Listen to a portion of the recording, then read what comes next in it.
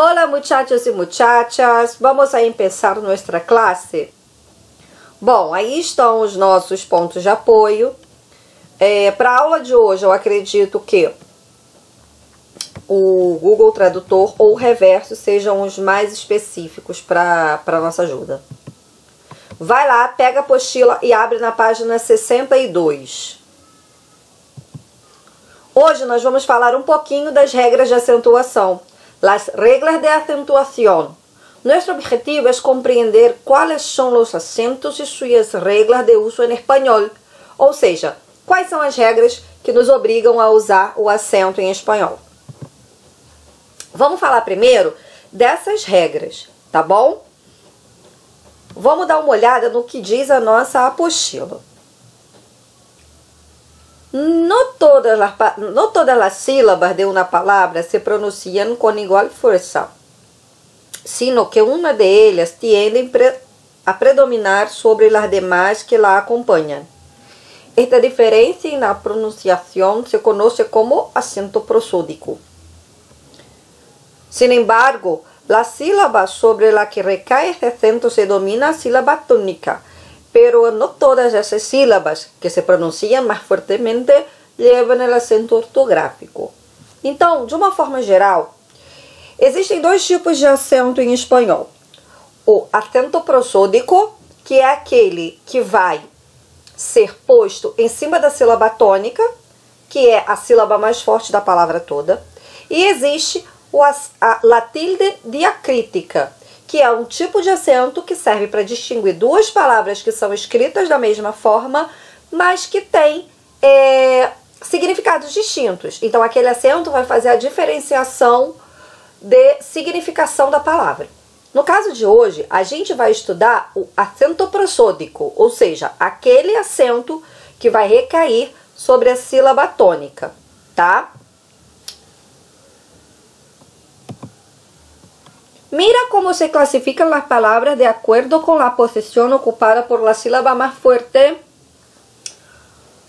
Posición de la sílaba tónica. Ejemplo e los tipos de acentuação. Em português, nós temos a oxítona, paroxítona e proparoxítona.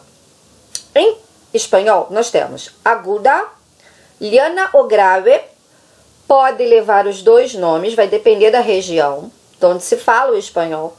Erdrújula e sobreerdrújula. Então vamos lá.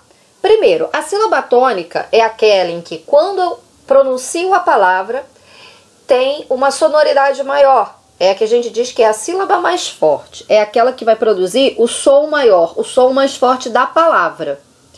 Então, a gente tem que observar se aquela sílaba tônica vai levar ou não o acento. Não é toda sílaba tônica que leva acento, tá? Antes de saber quais são, vamos ver pela posição da sílaba tônica. Então, quando a gente classifica em aguda, liana, erdrúcula ou sobre-erdrúcula, a gente está dizendo da posição da sílaba tônica na divisão daquela palavra. Então, se a sílaba tônica for a última sílaba da palavra, nós a classificamos como aguda. Se a sílaba tônica for a penúltima sílaba, ela é uma liana, o grave. Se a sílaba tônica for a antepenúltima sílaba, ela é a esdrúxula. E se a sílaba tônica for qualquer sílaba que seja após a antepenúltima, nós vamos chamá-la de sobreesdrúxula. Então, quando a gente dá essa classificação, a gente não está preocupado se aquela palavra é ou não acentuada. A gente já tem certeza que ela é acentuada. E aí a gente precisa analisar a posição que ela ocupa dentro da palavra. Agora, a gente vai ver sobre as regras que fazem com que aquela palavra seja ou não acentuada em espanhol. Tilde é o acento grave, tá? Em espanhol, nós não temos o acento circunflexo, nós só temos o acento grave. Também não existe a crase. Então, o único acento, os dois únicos acentos que vão existir em espanhol é a tilde, que é o nosso acento agudo, e o nosso tio, tá bom? Então, vamos lá.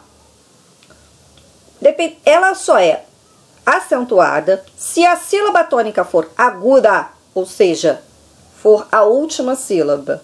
Se as palavras terminarem em N ou S. Então, eu só vou acentuar aquela palavra se a sílaba tônica for aguda, né? Primeiro a gente tem que analisar a posição para depois saber se ela é acentuada ou não. Então, dividi minhas palavras, vi que a sílaba tônica é a última, é numa aguda.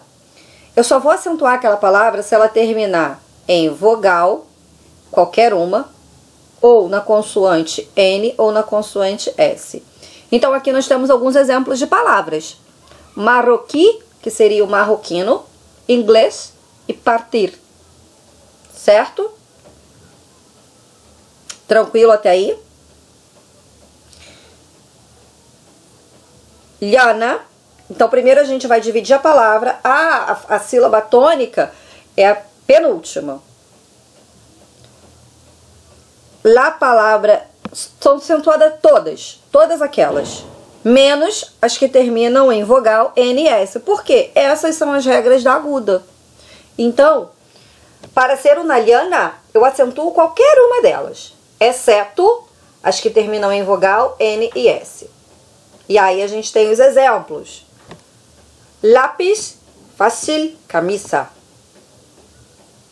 Esdrúxula, todas levam acento. Então, esdrúxula e sobre esdrúxula são as mais fáceis, porque todas elas vão ser acentuadas. Aí a gente tem exemplos de cara música fantástico, apagámelo agilmente. Então, toda esdrúxula e sobresdrúxula são acentuadas. Então, é uma facilidade tanto. Vocês só vão ter problema mesmo de decorar a regrinha, porque não tem outra forma, só decorando, da aguda e da. Vamos prestar atenção numa coisa. Los advérbios terminados em mente podem levar dos acentos prosódicos el del adjetivo y el de la terminación mente.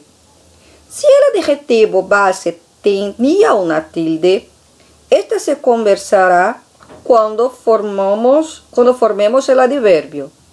Dócil mais mente, docilmente. Então, as palavras terminadas em mente, elas seguem duas regras distintas, tá? Porque ela pode ser o uso do adjetivo mais a terminação mente para se tornar um advérbio. Então, esse advérbio, ele só vai permanecer com acento se o adjetivo já levar um acento. Então, ele botou aí um, um exemplo muito bom, que é dócil, que é o dócil, né? Doce, dócil. Dócil já tem acento. Então, é um adjetivo que por si só ele já possui acento. Então, quando eu acrescentar o sufixo mente para que ele se torne um advérbio, ele vai permanecer com acento. Caso o dócil não tivesse acento, ele permaneceria sem o acento. Deu para entender? Então, o advérbio ele só recebe acento se o adjetivo que o gerou já tiver o acento. Agora vamos falar um pouquinho sobre essa divisão de palavra. Diptongos, hiatos e la acentuação. Os diptongos são sequências de vocais que pertenecem à mesma sílaba. Las palabras llevan tilde solo si les corresponde siguiendo las reglas generales de acentuação. Então aqui ele dá alguns exemplos de alguns ditongos e ditongos acentuados. Então, para ser um ditongo, é quando eu tenho duas vogais juntas, elas não se separam, tá? E aí, como é que eu vou saber se é acentuado ou não? Eu vou levar em consideração as regras da liana, estrúxula, aguda, aquela regra que a gente falou. Aquífero, acentuado. Canción acentuado. Náutico acentuado. Adiós acentuado y después acentuado. Los hiatos son secuencias de dos vocales que pertenecem a sílabas distintas. Observa as regras de acentuação da palavra com hiato. Então, gente, o hiato são sequências de vocais que vão ficar separadas. Desculpa. Las palabras con hiato formado por dos vocales iguales o por dos vocales abiertas distintas siguen las reglas generales de acentuación. La palabra con hiato formado por una vocal cerrada, tónica, e uma vocal aberta tônica, ou por uma vocal aberta átona e uma cerrada tônica, sempre leva a latida sobre a vocal cerrada, com independência de que lo exijan ou não as regras generais de acentuação. Harmonia, grua, insinue, dúo, río, caída, raiz, cafeína, egoísmo, oír, dia, alegria. Vamos praticar um pouquinho? Então é um assunto bem trabalhoso, tem bastante exercício para vocês treinarem e fazerem e enviarem para o meu e-mail até o dia 23 de julho. Haga los ejercicios con atención. Cuídate, estaremos juntos muy pronto. Hasta luego.